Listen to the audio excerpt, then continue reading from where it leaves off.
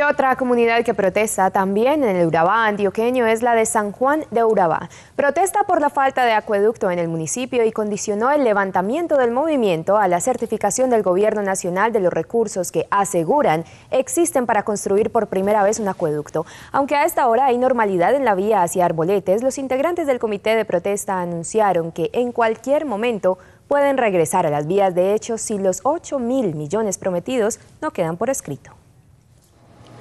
Después de los disturbios que el fin de semana dejaron una mujer muerta y daños en la alcaldía, los integrantes del comité de protesta levantaron el cierre de la vía, pero exigieron que la promesa de dinero para construir el acueducto quede por escrito. Para que ratifique los 8.435 millones de pesos que tiene el gobierno nacional el municipio de San en el proyecto de agua radicado ante el ministerio.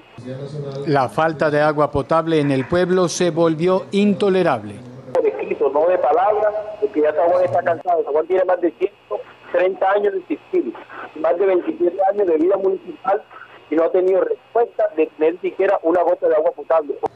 La gobernación de Antioquia confirmó que los dineros disponibles provienen de un aporte de 6 mil millones de la nación y de 2 mil millones del departamento.